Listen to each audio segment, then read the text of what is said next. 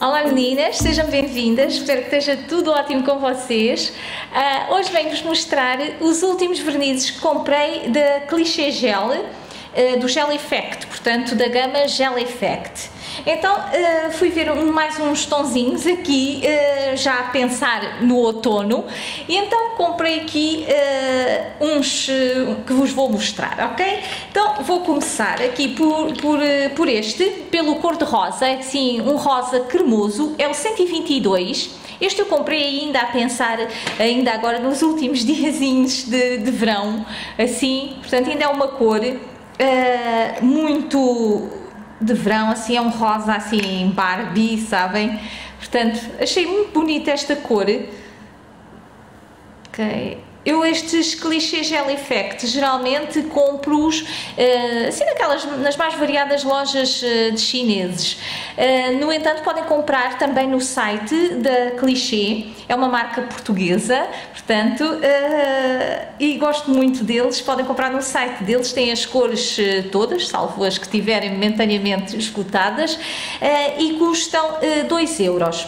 Eu habitualmente nas lojas assim, dos chineses compro um 90, um 95, um 99, portanto varia um bocadinho, mas no site é 2 euros. Portanto, o primeiro então aqui, o 122, e já sabem que eu adoro uh, estes vernizes da gama Gel Effect mesmo porque não sendo vernizes uh, gel, não é verdade, têm a mesma característica dos vernizes gel só que não precisam nem de catalisador, nem de um removedor especial, nem nada disso, portanto são vernizes completamente normais.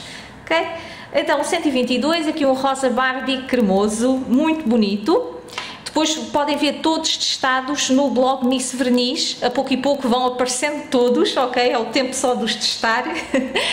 Outro aqui que eu comprei também dá assim a pensar aqui no, no verão, porque é assim mais laranjinha salmão, ele é mais salmão até do que propriamente laranja Uh, mas está ali entre, não é? O laranja e o salmão, é o 12A. As novas cores da clichê Gel Effect, a marca acrescentou ao, ao número um algarismo, um, ai, uma letra, portanto ficou número e letra, assim. Um, se forem ver, o 12 não é igual, a cor não é igual ao 12A, ok? Pode às vezes confundir um bocadinho, agora temos que contar também com uma letra à frente do número. Pronto, então este já é dos novos, assim, de, de, de, que eles lançaram agora ultimamente, e é assim este coral, este, é assim um tom, ele não é assim muito, muito uh, salmão, é mais talvez alaranjado realmente, eu ainda não o experimentei sequer na unha, ainda não o testei, mas achei que era uma cor assim interessante. Portanto, já sabem, o 12A. Depois comprei aqui o 127, que é um roxo metálico, assim, estão a ver? Eh, porque vi eh, várias marcas e acho que é uma tendência, eh, vi várias marcas, portanto, a lançarem estes tons assim roxos metálicos, roxos com um bocadinho de cinza também. Este é mesmo roxo roxo, não tem cinza nem nada disso. É roxo metálico. Eu penso que se veja bem, pelo menos parece-me no frasco que se vê bem que é roxo. Esperemos que depois na unha também, mas eu penso que sim. Estão a ver? Portanto, nota-se mesmo assim que é roxo, metálico. Estou com muita curiosidade de o testar, por acaso. É o 127, ok? E, e, realmente, como é mesmo muito tendência, acho que agora vou apostar assim em comprar. Eu tenho alguns na minha coleção, tons de roxo assim, mas há sempre novidades, não é verdade? Há sempre uma tonalidade ou mais escura ou mais uh, com uns brilhos. Este faz uns brilhos, portanto deve ser assim um metálico com brilhos, o 127.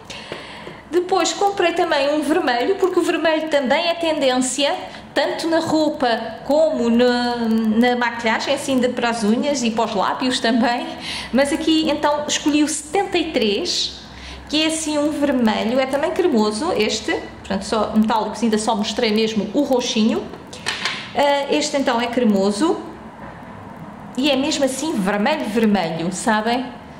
É aqueles tons de vermelho que não podem faltar na nossa coleção, vê-se mesmo que é vermelho, portanto, para alegrar depois os dias mais de inverno, assim um tonzinho mais claro, assim mais vibrante, ok? Portanto é o 73, okay? Depois comprei também aqui o 37A, assim, o 37A é um tom assim de cobre, uh, ele é entre o metálico e o irisado, sabem? Não é bem bem metálico, mas vai ficar assim bem brilhante. Acho que lhe podemos chamar assim um metálico irisado. Estão a ver? É mesmo muito bonito.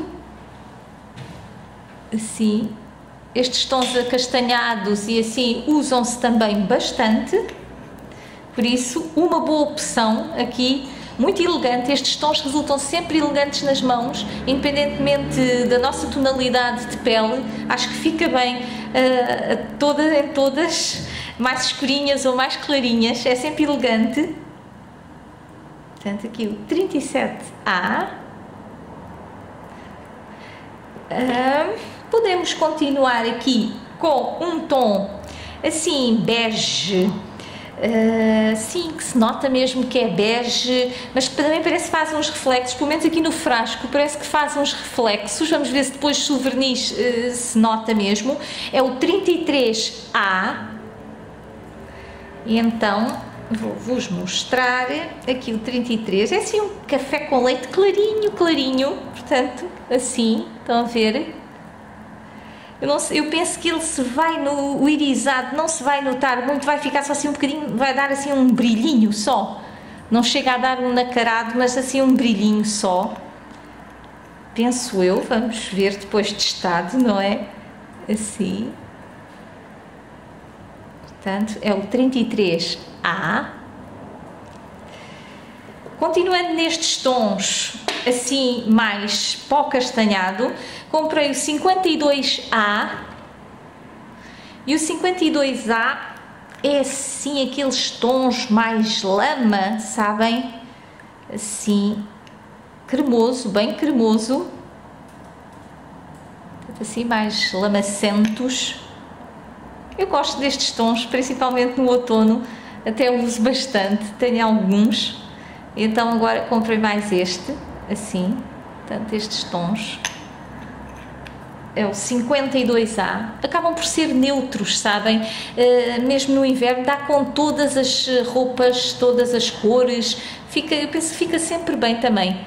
É o 52A. Comprei também o 51A, porque fica indeciso entre um e outro, porque se este tira assim um bocadinho mais para escuro, este tem uma pontinha de cinzento, assim, estão a ver?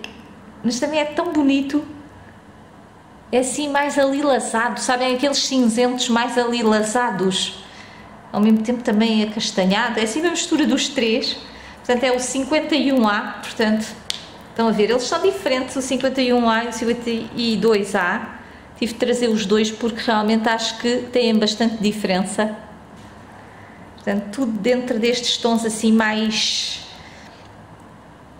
uh, castanhos assim mais lamacentos mesmo.